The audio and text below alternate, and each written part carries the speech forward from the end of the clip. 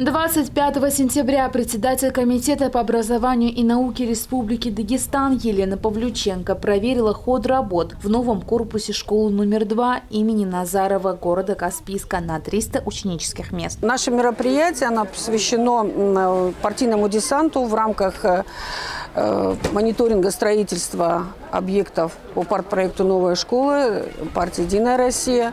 Сегодня присутствуют здесь депутаты городского собрания, я как куратор и региональный координатор этого проекта.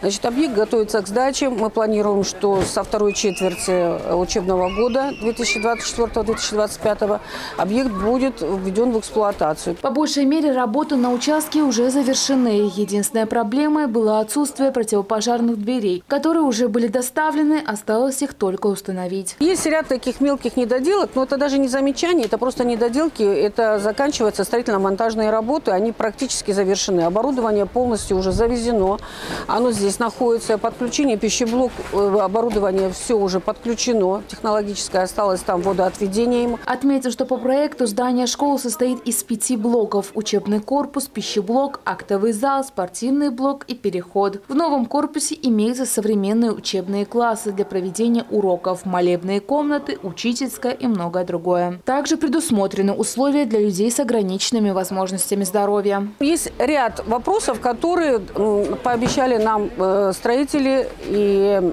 поставщики оборудования завершить до 5 октября.